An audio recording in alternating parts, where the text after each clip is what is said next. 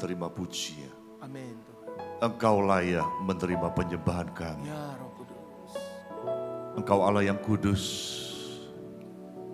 Allah yang ajaib. Tuhan kami percaya Engkau ada di tengah-tengah kami pada pagi hari ini. Kami percaya Tuhan Engkau ada di tempat ini. Amin. Dan Engkau menjamah setiap kami. Tuhan berfirmanlah kepada kami. Jadikan tanah hati kami menjadi tanah yang subur. Amin. Supaya pada waktu benih firmanmu ditaburkan itu dapat bertumbuh dan berbuah-buah lebat dalam hidup kami. Amin. Dan biarlah hidup kami boleh menjadi pembawa perubahan. Amin. Hidup kami berbuah-buah dan memberkati banyak orang. Biar hidup kami menjadi inspirasi bagi banyak orang. Amin. Dan biarlah melalui hidup kami nama Tuhan dipermuliakan. Yes. Bukan karena kemampuan kami. Bukan karena kebisaan dan kehebatan kami. Amin, Tapi semata-mata karena engkau yang bekerja di dalam kehidupan kami. Tuhan terima kasih. Pagi hari ini engkau mengambil alih sepenuhnya kehidupan kami. Amin. Pengurapanmu turun atas kami sehingga kami dimampukan untuk menerima firmanmu dengan penuh pengertian. Terima kasih ya Tuhan. Kami menyerahkan waktu ini sepenuhnya ke dalam tanganmu di dalam nama Tuhan Yesus Kristus. Haleluya. Setiap kita yang percaya katakan amin. Amin.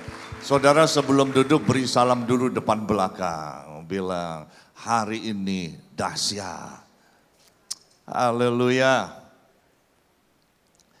Silakan duduk Bapak Ibu yang kasih. Siapa yang tetap percaya bahwa Tuhan kita Allah yang dahsyat? Itu yang pertama. Allah kita dahsyat. Tapi yang kedua, siapa yang percaya bahwa kalau kita percaya kepada Dia, maka perkara-perkara yang dahsyat juga akan terjadi dalam hidup kita. Dan yang ketiga, melalui hidup kita akan ada banyak orang yang mendapatkan perkara-perkara dahsyat juga dalam hidup. Saudara, Allah yang dahsyat akan mengubah banyak hal, akan melakukan banyak perkara di dalam hidup kita. Perkara bukan yang biasa-biasa, perkara yang luar biasa. Kenapa? Supaya orang lain bisa melihat ada Tuhan yang hidup. Lalu Tuhan pakai kita juga untuk menjadi saluran kuasa, saluran kasih, saluran berkat buat orang lain. Nah saudara hari-hari ini mungkin sebagian ada yang mendengar beritanya, sebagian ada yang belum mendengar. Tapi cukup menyedihkan, cukup membuat hati kita terenyuh dan juga bertanya-tanya.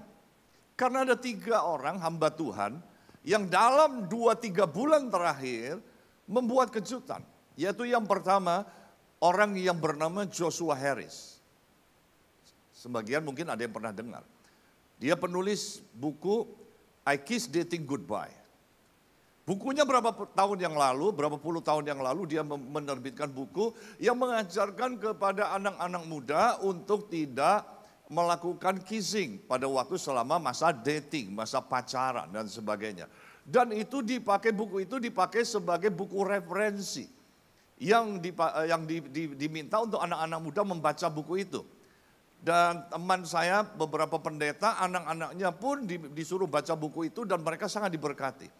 Tapi cukup terkejut kita karena beberapa bulan yang lalu penulisnya yang bernama Joshua Harry menuliskan di dalam Facebooknya bahwa dia minta maaf kepada kelompok LGBT dan lain sebagainya yang selama ini dia dia musuhin dan dia bilang dia kehilangan iman percayanya lalu bahkan dia sekarang masuk di dalam kelompok itu.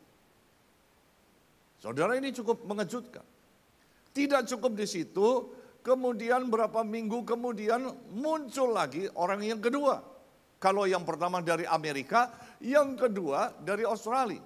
Namanya Marty Simpson. Hillsong. Semua kita tahu Hillsong. Dia salah satu worship leader seniornya di Hillsong.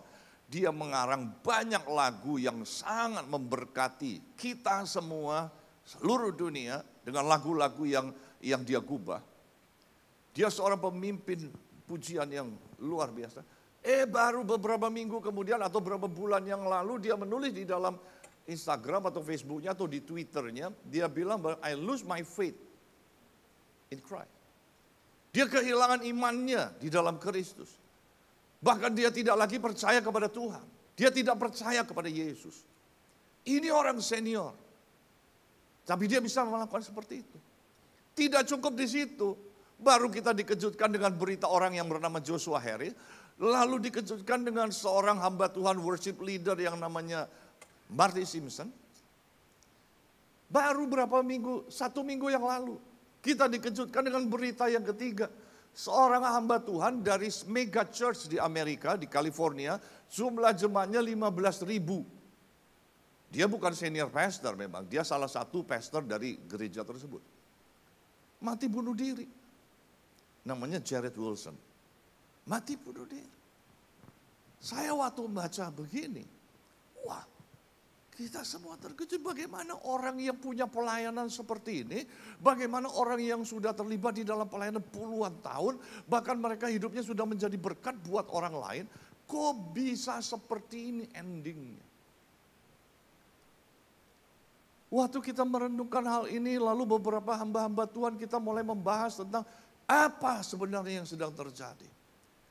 Rupanya tiga peristiwa ini mengingatkan kita semua, mengajarkan kita semua bahwa kalau kita sebagai orang Kristen menjadi orang yang percaya, bahkan mungkin sudah puluhan tahun, bahkan mungkin kita sudah terlibat di dalam pelayanan, bukan menjadi jaminan untuk kita akan punya iman seterusnya.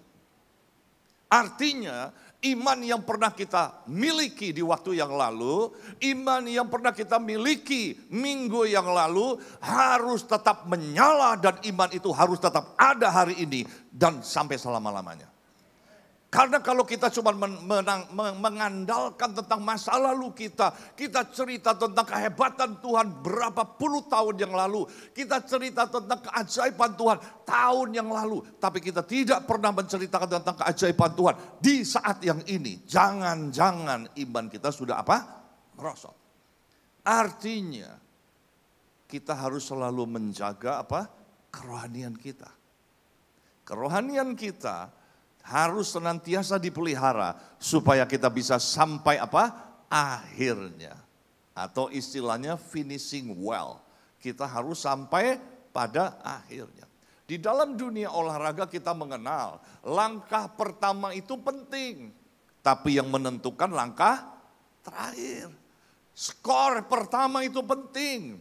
Kalau kita nonton sepak bola, kita lihat pertandingan apa pun juga, skor yang pertama yang bisa memecahkan skor pertama 1-0 itu akan membuat mental musuhnya akan apa? Drop. Tapi di dalam pertandingan semua kita ini sadar langkah pertama memang penting, tapi yang menentukan langkah terakhir. Waktu saya masih kecil, ada pertandingan bulu tangkis yang sangat legendaris, yaitu pertandingan antara Rudi Hartono, sang maestro bulu tangkis, melawan siapa? Waktu itu saya lupa, Swenpri atau Erlan Skop atau siapa? Swenpri, lawan Swenpri, kalau nggak salah. Kalah Rudi Hartono pertamanya. Sudah sampai 10-0, 11-0, 12. Ketinggalan, nol.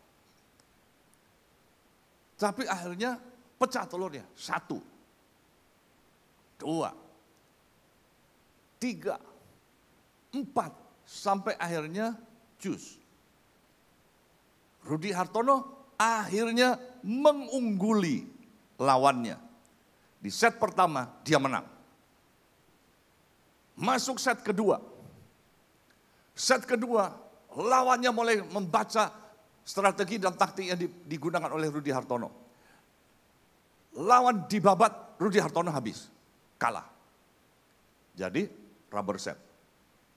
Set pertama, oh set pertama kalau nggak salah kalah Rudi Hartono. Set kedua Rudi Hartono menang. Terbalik. Rubber set. Masuk set yang ketiga, set menentukan. Itu pun sudah ketinggalan angkanya Rudi Hartono.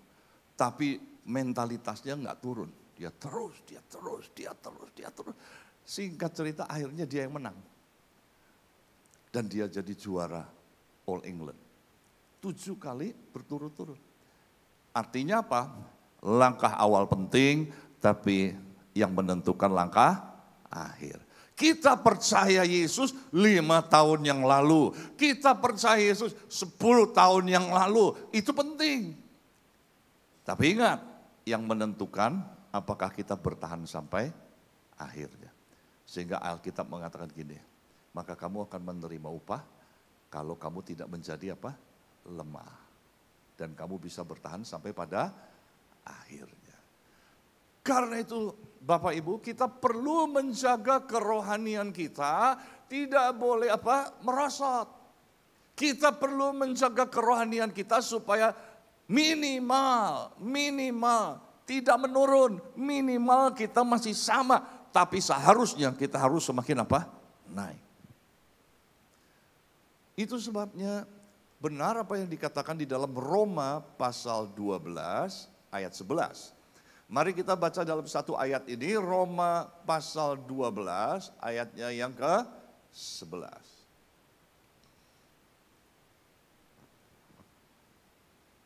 Sudah ketemu satu ayat aja. Roma 12 ayat yang ke-11. Karena cuma satu ayat, saya ingin mengajak Bapak Ibu sekalian kita membaca secara bersama-sama. Tiga, dua, satu. Janganlah hendaknya kerajinanmu kendor. Biarlah rohmu menyala-nyala dan layanilah Tuhan. Bapak Ibu yang kasih, kita baru saja membaca satu ayat yang kalau kita baca dengan teliti, maka kita akan lihat sekuennya, urutannya. Yaitu yang Bapak, janganlah hendaknya apa? Kerajinanmu kendor. Yang kedua, biarlah apa? Rohmu menyala-nyala. Baru yang ketiga apa? Layanilah Tuhan. Urutan ini bukan urutan sembarangan. Dikatakan janganlah hendaknya kerajinanmu kendor, biarlah rohmu menyala-nyala. Nah saudara kalau kita tidak mengerti tentang hal ini, maka kita akan bertanya-tanya. Pertanyaannya begini, kalau roh kita lagi menyala-nyala untuk menjadi rajin, susah atau gampang? Gampang dong, namanya juga lagi roh menyala-nyala. Tapi kalau rohnya lagi padam, suruh rajin. Gampang atau susah? Susah. Pak, rohnya justru lagi padam, saya justru nggak bisa rajin pak. Karena rohnya lagi padam. Rohnya harus nyala dulu pak, baru saya bisa rajin. Ayatnya ini nggak terbalik loh. Janganlah hendaknya kerajinanmu kendor. Biarlah rohmu nyala-nyala, baru yang terakhir layanilah Tuhan. Atau sebaliknya kita bilang begini, jangan berhenti pelayanan. Kenapa? Kalau kamu berhenti pelayanan nanti padam rohmu. Seakan-akan kalau kita pelayanan, roh kita jadi apa? Menyala-nyala. Betul nggak? Kita punya kita punya pemikiran seperti itu kan? Kalau kita berhenti pelayanan nanti rohnya padam. Padahal fakta membuktikan pelayanan tidak pernah membuat roh kita menyala. Yang membuat roh kita menyala adalah relasi kita dengan Tuhan. Semakin kita berelasi dengan Tuhan, semakin kita dekat dengan Tuhan, semakin intim kita dengan Tuhan, maka roh kita pasti akan menyala-nyala. Dan orang yang rohnya menyala-nyala tidak akan tinggal duduk manis, tidak, akan duduk diam, dia pasti akan melayani. Karena rohnya menyala, karena rohnya berkobar. Kalau orang yang on fire, dia nggak akan dia menikmati saja api yang buat diri sendiri. Dia pasti akan memberkati orang lain. Dan ketika dia menyalurkan kepada orang lain, ketika dia mendoakan orang lain, ketika dia menolong orang lain, karena rohnya menyala-nyala, dia lihat orang lain tertolong. Dia makin berkobar. Tapi kalau pelayanannya jalan terus, lalu hubungannya dia dengan Tuhan terputus, maka yang terjadi sebaliknya dia bukan menyala-nyala, tapi yang terjadi sebaliknya justru dia mengalami yang namanya spiritual burnout. Dia kekeringan rohani. Makanya berapa banyak orang yang mengalami apa? Kering rohani di dalam pelayanannya. Dan saudara, saya meyakini tidak ada seorang pun yang jatuh ke dalam dosa secara mendadak. Enggak ada. Nggak ada orang yang jatuh, nggak ada orang yang meninggalkan Tuhan, itu secara mendadak tidak ada. Itu pasti sudah jangka panjang. Ada istilahnya sebutannya prakondisi, precondition. itu sudah ada di dalam mungkin pikirannya, ada di dalam hatinya, keadaan tertentu yang tapi tidak diatasi, tidak di apa? Tidak segera diperbaiki. Dia bertahan lama sampai pada satu titik dia mencapai titik kolaps. Begitu dia kolaps, dia jatuh. Dan saya percaya tiga hamba Tuhan yang mengalami hal ini, saya meyakini ini bukan mendadak. Ini sudah terjadi sekian tahun lamanya.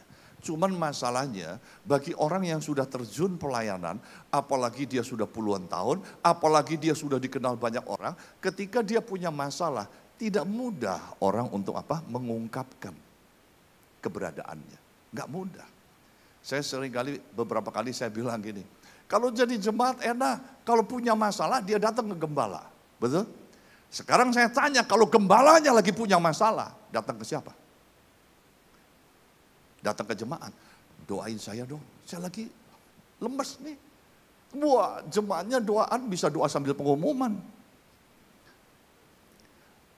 Jadi untuk orang-orang tertentu ketika dia pelayanan dan dia mengalami mungkin kering secara rohani, dia nggak gampang loh untuk terbuka. Oh masa sih pak ada orang yang sudah pelayanan nggak bisa ngalami kering rohani? Nggak usah jauh-jauh kita ambil contoh yang lain. Di dalam Alkitab saja berkali-kali banyak orang yang down. Betul nggak? Elia baru habis pelakuan pelayanannya begitu luar biasa. Membantai 450 Nabi Baal, 400 Nabi Asyera. Ketakutan. Tuhan bilang kamu pergi ke tepi sungai Kerit. Udah diam di sana. Saudara ketika rohani kita dalam mengalami down. Ketika api itu sudah tidak menyala lagi Tuhan bilang stop dulu dari pelayanan, kamu ngambil waktu, retreat, ambil waktu pribadi bersama dengan Tuhan. Tuhan biarkan dia di tepi sungai kering, dipelihara sama Tuhan, dikirimin burung gagak, dikasih makan daging. Sampai kapan? Ketika spiritnya pulih, baru Tuhan bilang sekarang kamu pergi ke Sidon. Ke seorang janda di Sarfat. Dan Tuhan pakai lagi melakukan mujizat yang luar biasa. Karena itu ayat ini mengatakan janganlah hendaknya kerajinanmu kendor Jangankan hilang kerajinan, kendor aja nggak boleh. Lawannya kerajinan apa? Kemalasan. Dan Tuhan benci sama kemalasan. Makanya kalau kita baca di dalam Matius pasal 25 tentang ada orang yang dikasih lima talenta, dua talenta, satu talenta. Yang lima talenta berusaha dia dapat 10 talenta. Dapat 5 jadi 10. Yang dua berusaha dia dapat dua jadi 4 talenta. Ini 100%, ini 100%. Yang satu talenta nggak hilang, nggak hilang. Kecuali dia hilang. Kalau dia hilang tuannya marah kita nggak heran. Karena menghilangkan talenta. Ini nggak hilang. Masih ada. Dia bilang Tuhan ini talenta yang Tuhan berikan. Ini talenta yang Tuhan titipkan. Nih ambil aja nggak berlipat ganda. Tuannya marah, dia bilang kamu hamba yang malas dan jahat. Tuhan benci loh sama kemalasan. Kenapa? Karena begitu kita kendor. Maka ini bukan cuma soal biasa-biasa. Begitu kita kendor, ini akan mempengaruhi kerohanian kita. Ketika kerohanian kita mulai mengalami kemerosotan, dan kita tidak menyadari. Dan kita tidak segera mengambil tindakan. Dan kita tidak action. Do something. Lakukan sesuatu untuk kembali mengobarkan roh kita. Maka kita punya problem besar. One day kita bisa patah seperti apa yang dialami para hamba-hamba Tuhan ini.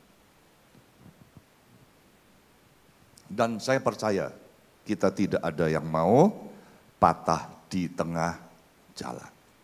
Itu sebabnya Bapak Ibu Saudara Saudari yang ada di tempat ini. Sekalipun di tengah-tengah jam kerja, hari Ju, ini hari Sabtu ya.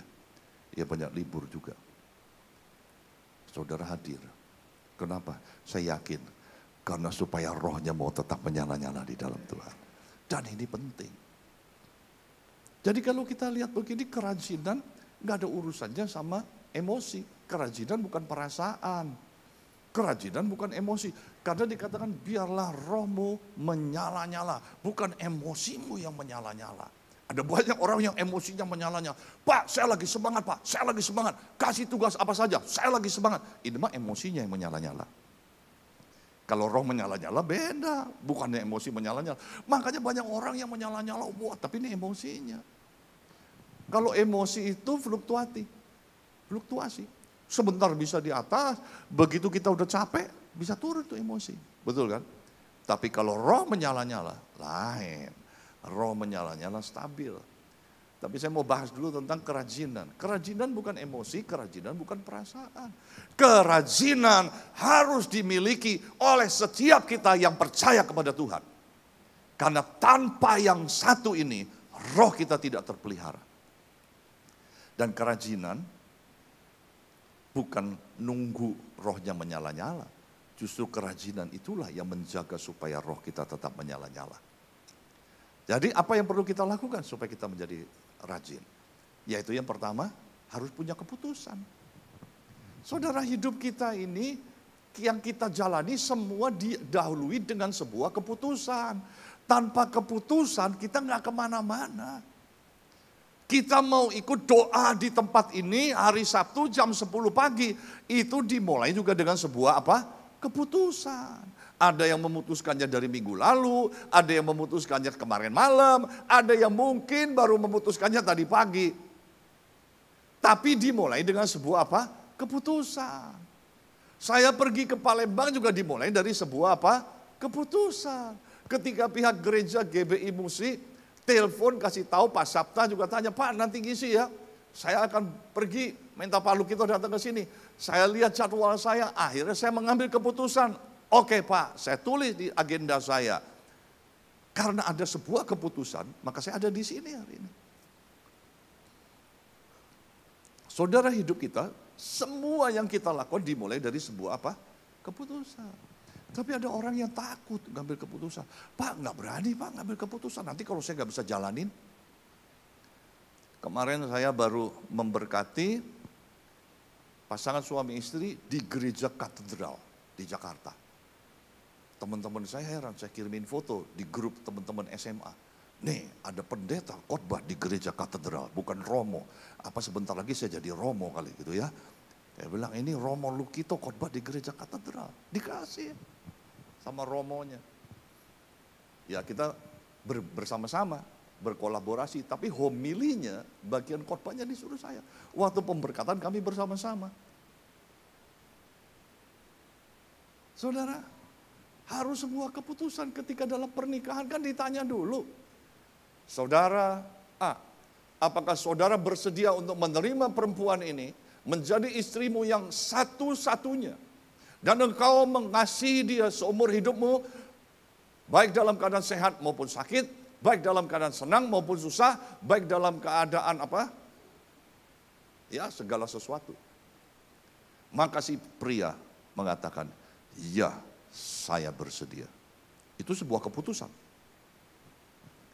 Lalu yang perempuan, apakah saudari B bersedia menerima pria ini sebagai suamimu yang satu-satunya dan mengasihi serta menghormati dia sebagai suamimu dan engkau akan mengasihi dia, menghormati dia baik dalam keadaan kaya ataupun miskin, dalam keadaan senang maupun susah, dalam keadaan sehat maupun sakit. Lalu yang perempuan bilang, ya tergantung keadaan Pak. Enggak janji Pak. Saya tanya, saya berkatin enggak yang begini? Enggak akan saya berkatin. Oh, keputusan aja enggak berani. Ya saya bersedia. Berkatin.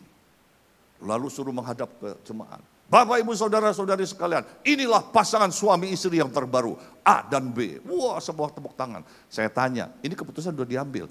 Pelaksanaannya pada waktu lagi menjalankan keputusan, jatuh bangun nggak? Jatuh bangun. Jatuh bangun.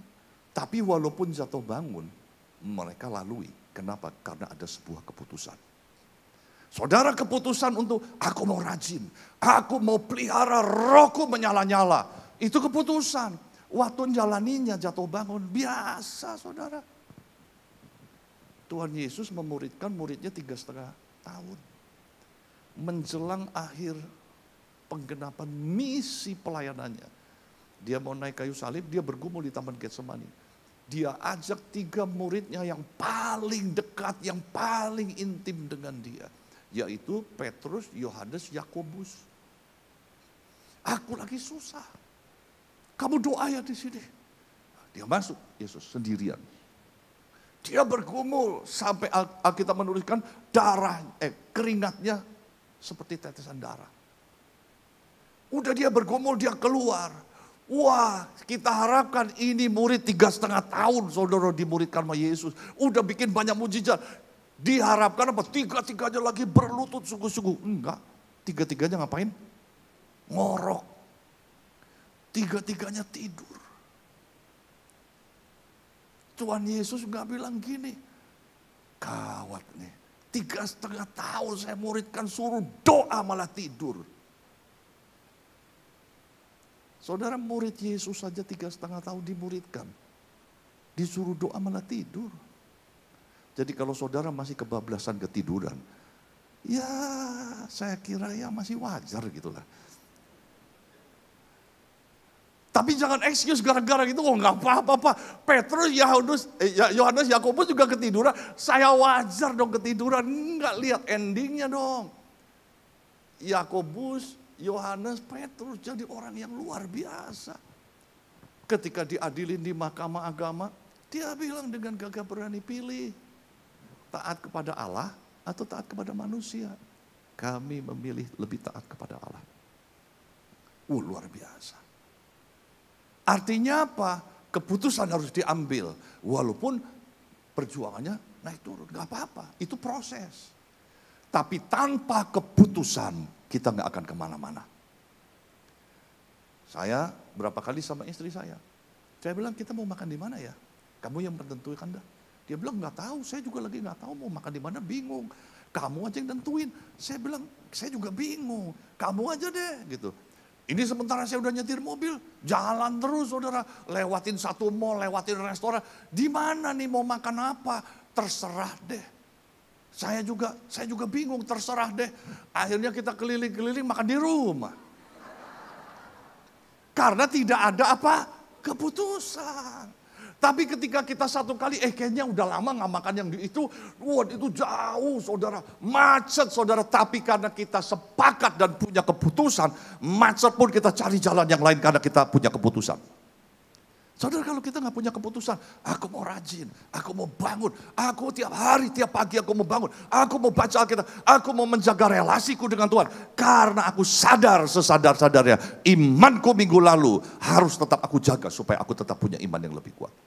Jangan kita mengandalkan iman masa lalu yang diceritain mujizat masa lalu melulu. Kapan kita cerita tentang mujizat masa hari ini? Kita percaya dari hari ke sehari mujizat Tuhan masih terjadi. Itu sebabnya setiap pagi saya berdoa, Tuhan terima kasih hari ini. Ratapan 3 ayat 20 mengatakan 22 mengatakan apa? Kasih setia Tuhan tak berkesudahan, selalu baru setiap pagi. Tak habis-habis rahmatnya. Jadi saya kalau doa selalu saya mengadakan tangan begini. Terima kasih Tuhan untuk pagi hari ini. Karena ada kasih karunia yang baru. Aku terima pagi hari ini. Dan dengan kasih karunia yang baru. Maka hari ini lebih baik dari hari kemarin. Karena Tuhan tidak memberikan kasih karunia yang sudah disimpan di kulkas. Dia kasih karunia yang fresh every day.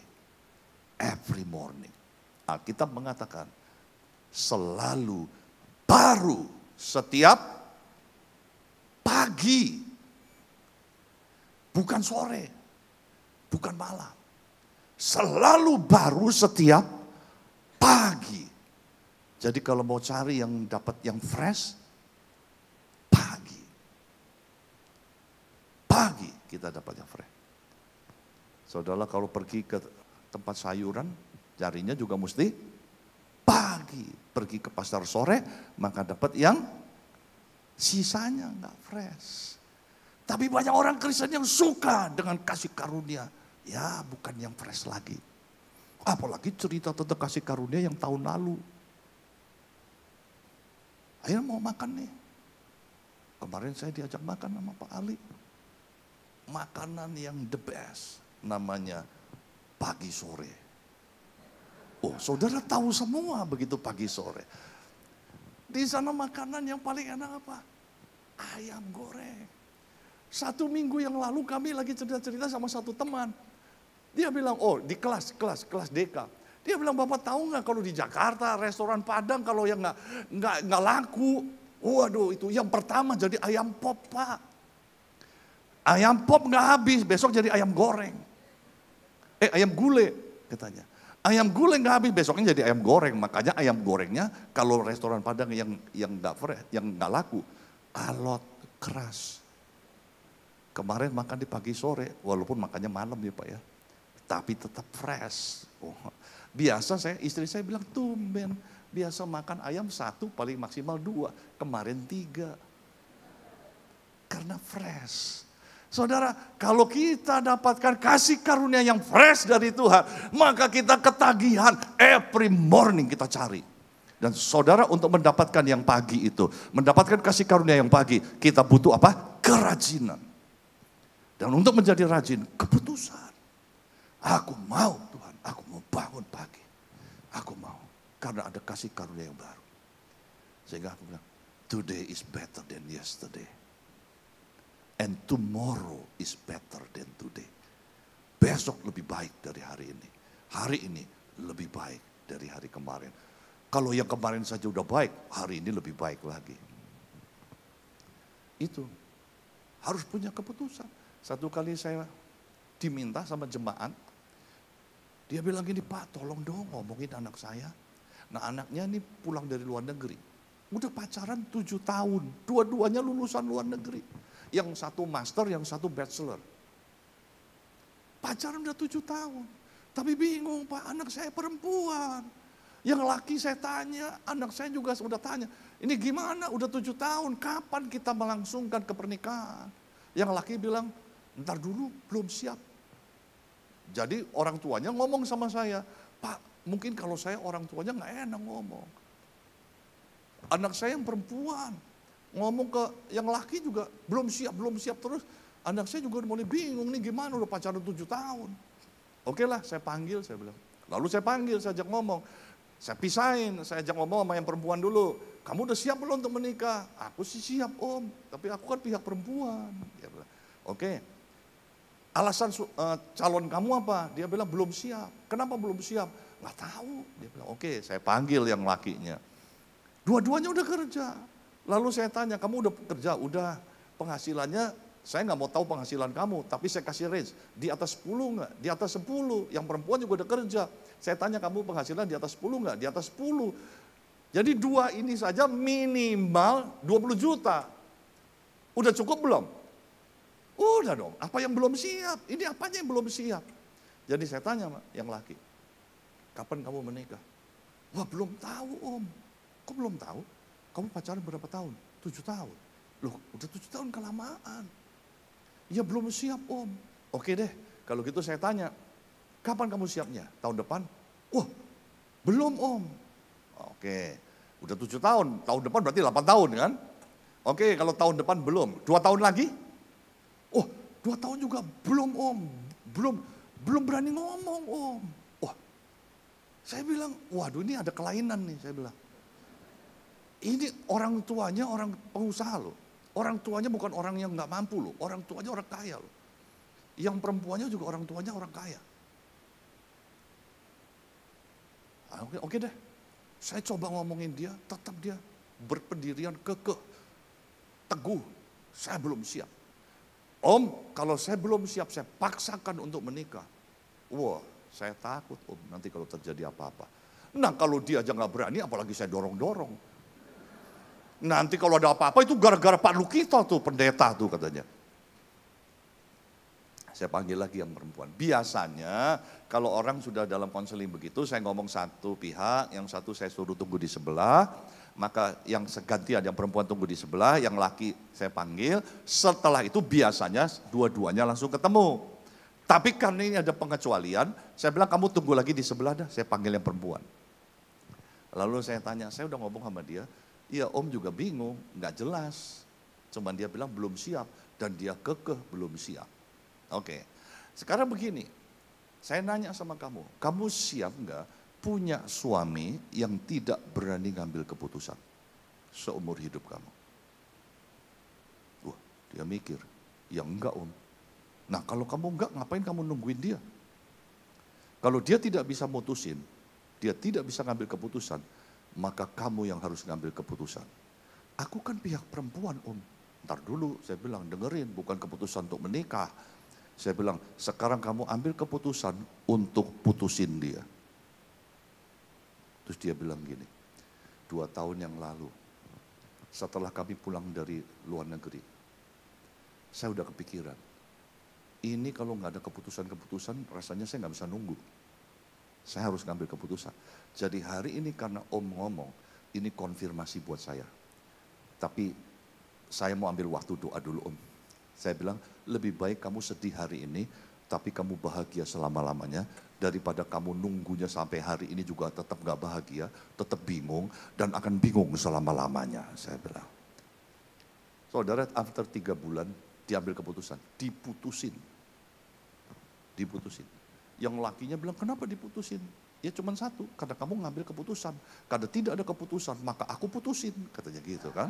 Nah itu kan bagus, putusan putusin gitu kan. Singkat cerita, bisa. Yang perempuan menikah, punya tiga anak, hidupnya bahagia hari ini. Yang laki sampai hari ini nggak menikah. Kenapa? Karena nggak pernah berani ngambil keputusan. Orang yang tidak berani ngambil keputusan tidak akan pernah ke mana-mana. Secara kriteria orang ini lebih dari hebat. Master lulusan luar negeri, orang tuanya pengusaha, punya gaji yang mungkin hari ini udah 30-40 juta, tapi tetap punya ketakutan tidak berani ngambil apa? Keputusan. No keputusan, no kemajuan. Tidak ada keputusan, tidak ada kemajuan. Jadi jangan takut untuk ambil apa? Keputusan.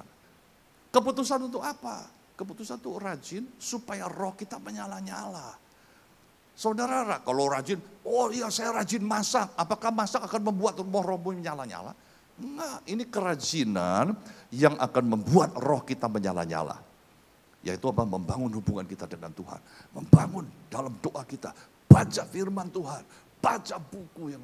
Nah saudara kalau bicara tentang keputusan, adalah eh, kerajinan adalah sebuah keputusan. Jangan ambil keputusan yang besar-besar dulu yang susah. Pokoknya saya mau bangun setiap hari jam 3 pagi seperti pendeta Sabta. Padahal biasanya bangun jam 7. Terus ngambil keputusan mau bangun jam 3 pagi. Yakin tiga hari berlangsung. Hari keempat tidak ada kuasa kebangkitan lagi. Bablas lagi. Tapi pelan-pelan dong. Kalau yang dulunya jam 7 ditarik lah, bangun jam 6. Enggak susah. Jam 6 tarik lagi jam 5. Yang biasa jam 5 tarik jam 4 misalnya. Karena kalau keputusan, lalu kita udah ambil keputusan jam 4, oh jatuh bangun nggak apa-apa. Ingat, Petrus, Yohanes, Yakobus tidur di Taman Getsemani. Nggak apa-apa, berjuang. Tapi harus ada sebuah keputusan.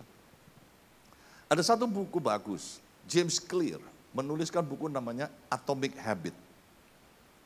Wah, saya tertarik buku ini judulnya unik, Atomic Habit. Oh, ternyata dia hanya menjelaskan tiny changes, remarkable result. Jadi perubahan yang kecil akan membawa sebuah hasil yang luar biasa. Jangan berpikir yang gede-gede. Kadang-kadang kita pikir begini, supaya menghasilkan yang besar, maka kita harus berpikir dan setting yang besar. Bukan. Kalau bicara tentang keputusan untuk membangun kerajinan, itu bicara tentang kebiasaan, habit. Kebiasaan tuh nggak usah setting yang gede-gede. Bikinlah yang kecil. Tapi kalau dilakukan dengan tekun konsisten, itu membawa sebuah perubahan yang besar. Contoh, kalau kita membaca satu hari tiga pasal per hari, maka satu tahun kita menyelesaikan dari kitab kejadian sampai kitab wahyu, seluruh Alkitab selesai satu tahun. Cuman sehari tiga pasal. Membaca tiga pasal satu hari itu cuma butuh paling 15 sampai 20 menit. Baca loh ya, bukan menyelidiki. Kalau menyelidiki satu perikop seharian juga nggak selesai saudara.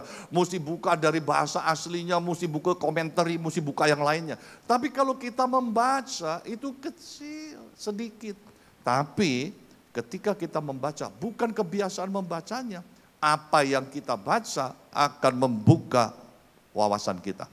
Apa yang kita baca akan mempengaruhi cara kita berpikir. Ketika cara kita berpikir, otomatis keputusan yang kita ambil, tindakan yang kita lakukan pasti akan berbeda. Karena knowledge kita sudah semakin bertambah.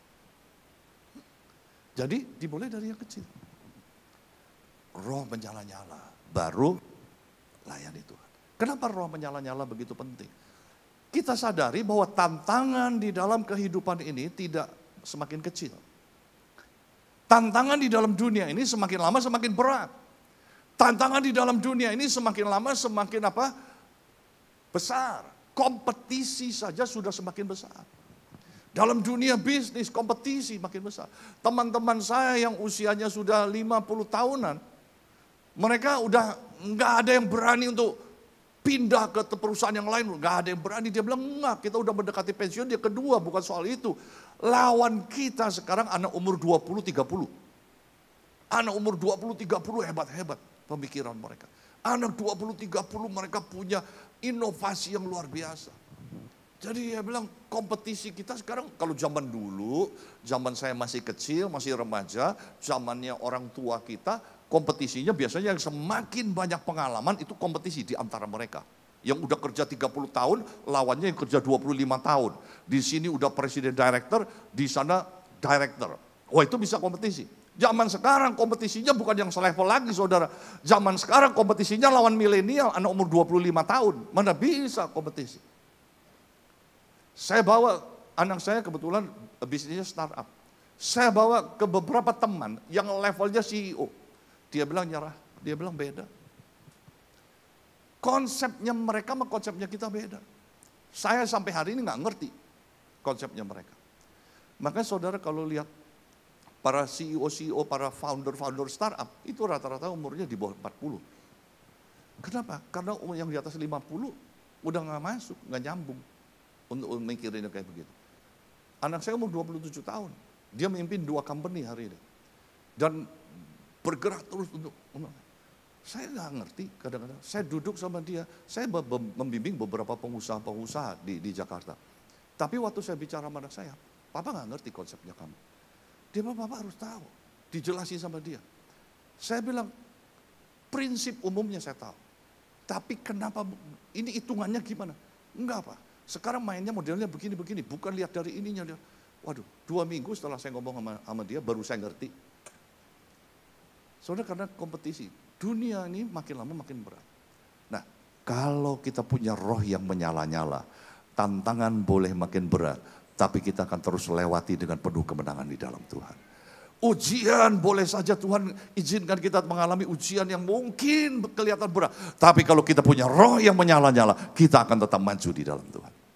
Contohnya siapa? Yusuf. Yusuf itu kurang apa saudara? Yusuf itu nasibnya jelek sekali awalnya saudaranya iri, dibuang jadi budak. Sakit hati nggak musinya? Sakit hati. Tapi rohnya Yusuf nggak padam, rohnya menyala-nyala. Dia nggak sakit hati. Dia kerja dengan sungguh-sungguh. Sampai dia prestasinya begitu menonjol, jadilah dia kepala di rumah istana Potifar.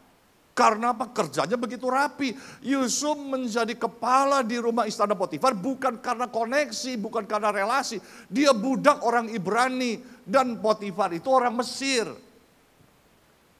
Dan Yusuf karena prestasinya begitu hebat sampai Potifar mengatakan dia melihat di dalam Yusuf ini ada ada tangan Tuhan yang menyertai sehingga apa yang dikerjakan Yusuf dibuat berhasil. Sehingga Potifar begitu percaya dia serahkan ke dalam tangan Yusuf seluruhnya kecuali istrinya. Dan istrinya yang tidak diserahkan pun menyerahkan diri sama Yusuf. Coba. Saking hebatnya Yusuf. Tapi Yusuf rohnya menyala-nyala ketika digoda istri Potifar, Yusuf nggak jatuh dalam dosa. Saya yakin, seyakin-yakinnya, Yusuf itu laki-laki tulen. Yang namanya laki-laki tulen, dirayu sama perempuan. Ini istri Potifar. Zaman dulu kalau pejabat-pejabat itu istrinya orang-orangnya wah cantik-cantik. Ini digoda sama perempuan, Yusuf tetap bertahan. Dan alasan Yusuf luar biasa. Jangan bu, di rumah ini ada banyak CCTV bu. Dia nggak alasannya begitu. Tapi Yusuf tahu ada yang lebih dari CCTV. Dia bilang, bu memang nggak ada orang lain. Karena istri Potifar sudah mengkondisikan, dia bilang, Sup, di rumah ini nggak ada orang lain, Sup. Cuman kita berdua, Sup. Kenapa? Karena kokinya dibilang, saya lagi kepengen makan sate kambing. Kamu beli ke Bogor sana, Wah dia suruh yang lainnya suruh sana pergi ke Palembang beli empek-empek sana pergi, oh pergi semua. Di rumah nggak ada orang lain saudara, tinggal berdua makanya dia bilang dikondisikan dulu sama istrinya Potifar, istri Potifar enggak, wah asal mengikat aja sembrono ceroboh enggak, mau bikin dosa pun dia pakai strategi. Yusuf dijebak, sup, cuman kita berdua sup, nggak ada CCTV, nggak ada yang lain. Yusuf bilang begini, Bu, nggak mungkin aku buat berbuat kejahatan yang demikian besar kepada Allah. Wah, saya yakin Yusuf bisa lakukan itu karena roh di dalam dirinya tetap menyala. Dia tahu ini bahaya. Mimpi yang dia lihat, yang dia terima dari Tuhan bisa nggak jadi kenyataan karena saya satu ini. Karena dia tetap menyala-nyala untuk melihat mimpi Tuhan digenapi dalam hidupnya. Apa pun yang menghalangi dia, Yusuf tidak pernah padam. Karena dia lihat ada rencana Tuhan yang besar dalam hidupnya. Difitnah sama istri Potifar, masuk penjara, dua tahun di penjara. Dia bisa sakit hati kali ini bukan sama sesama, bukan sama saudaranya. Kali ini dia sakit hatinya sama Tuhan. Karena dia bisa bilang begini Tuhan, aku mau hidup benar, aku tidak mau melakukan ajakan istri Potifar. Kok Tuhan gak bela saya? Kok Tuhan biarkan saya masuk penjara? Dua tahun dibiarkan di penjara. Kalau Yusuf sakit sama, hati sama Tuhan, dia padam spiritnya. Maka di, di dalam penjara kerjanya cuma merenungi nasib. Tapi Yusuf kerja di dalam penjara nggak merenungi nasib. Dia tetap rajin, dia tetap aktif, dia proaktif. Sampai Alkitab menuliskan, kepala penjara nggak punya kerjaan lagi. Kenapa? Semuanya dikerjain sama Yusuf. Hebat. Karena apa? Rohnya menyala-nyala. Dan akhirnya dia menjadi orang pertama di Mesir. Saudara, tantangan boleh datang dalam hidup kita.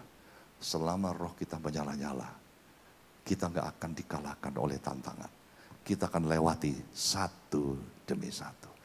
Karena itu, kalau roh kita sudah mulai padam, oh jangan dibiarin, ah maklum pak, biasa pak.